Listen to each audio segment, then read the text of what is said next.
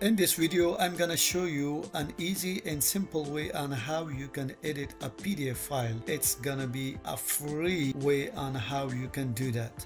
So let's get started. Here is a, a PDF file that I would like to edit and bring some changes. As you can see, it's a PDF file and I want to edit it. Especially I want to edit its text so how can we do that? Did you know that you can actually edit a PDF file on a Word document? Right click on this file, click on open with. Let's click on more apps and then we will find the Word. Let's click on Word and then click OK. There we go. Now we have the PDF file opened in a Word document.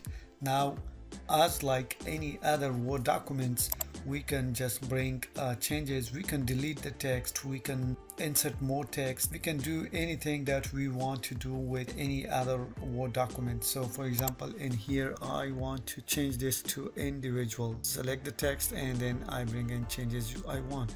So here the profile i want to bring this to center. So i can just select it and hit the center.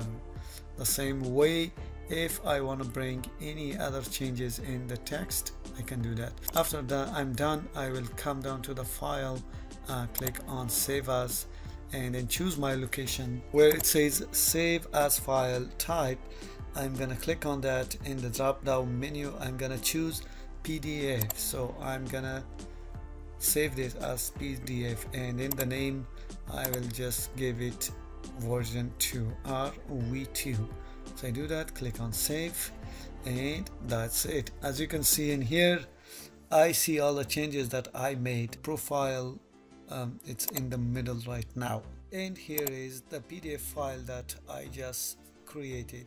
That's all good now. Let me show you the second way how you can do that. For that we need to go to this website. I will put the link down in the video description box. So here we're gonna come and click on the upload button and then find uh, the pdf file that we want to edit. So I'll click that and open it.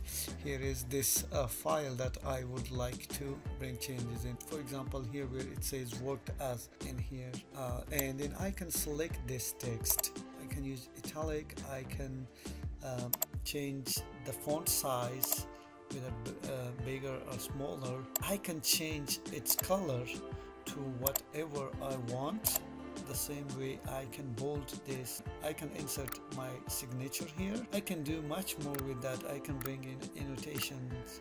I can insert any shape I want and much more. Once I'm done I'm gonna click on the apply changes I can click on this download button now and then download the file to my computer so I download it and then I can open and now I can see all the changes I made to this PDF file. In this video I showed you two different ways how you can bring changes into a PDF file.